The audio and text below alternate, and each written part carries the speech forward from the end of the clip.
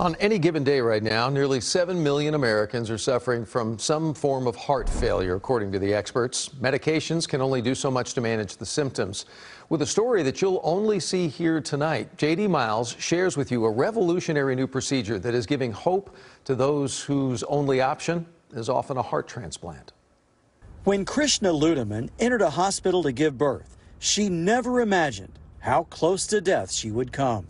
Fairly close, yes my heart was functioning at 10% when I delivered. I wasn't sure whether I was going to see my newborn.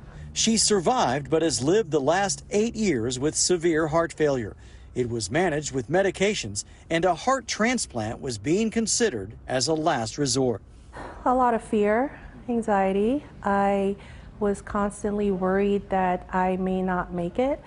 I spoke to my doctor and I said, I think I'm ready for a new heart literally this thing, and it looks like a pacemaker.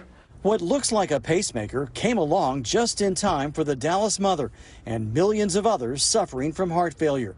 It's a new neuromodulation device that Baylor University Medical Center has implanted in nearly 30 patients with great success. And we have had uh, excellent success so far. I would say about 80% of our patients have done uh, um, that well. Immediately after, I felt good.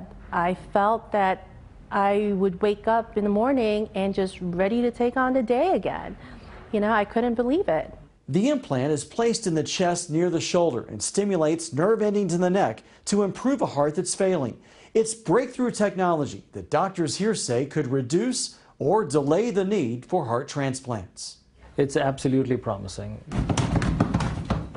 Baylor says it's the only hospital currently using the implants that have Ludeman, who was on the verge of a heart transplant only eight months ago, back in the gym and pushing her body to limits that were unimaginable this time last year. She may eventually need a transplanted heart, but for now she's healthy and looking forward to a long future with her son.